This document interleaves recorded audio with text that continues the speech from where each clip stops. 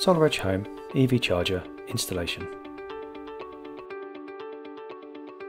Inside the packaging, you'll find the home EV charger, the EV charger mounting bracket, as well as the charging cable. Before carrying out any of the wiring, make sure that the AC supply is turned off. Fixings to mount the bracket to the wall are not provided, so make sure that you use fixings suitable to the wall material.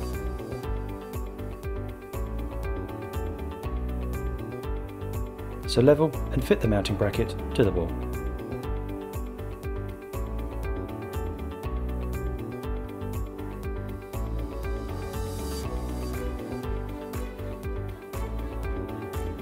Then fit the EV charger to the mounting bracket. On the lower face, in the middle, at the back, there is a retained screw. Use that to fix the EV charger to the mounting bracket using an Allen key. And now we remove the inner cover to the EV charger.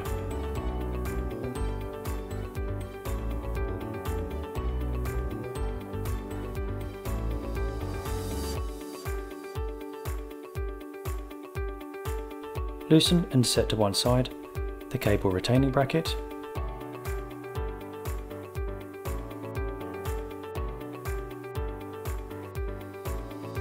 and open the AC cable terminals. Loosen and insert the cable through the gland and fit the AC connections to the appropriate terminals going from the left to right, earth, neutral and active and snap close the connectors. Relocate the cable securing bracket and fixing place.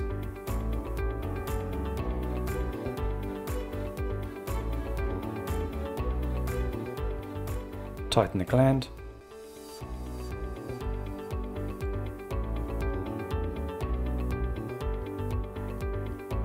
And then replace the inner cover using an Allen key.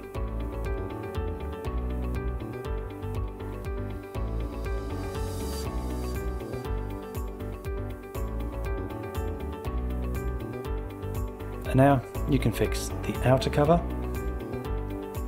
the outer cover has two retained screws at the bottom inner face.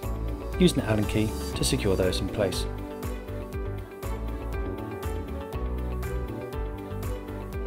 Next, fit the EV charging cable. Be sure to properly align the terminals and screw it in place.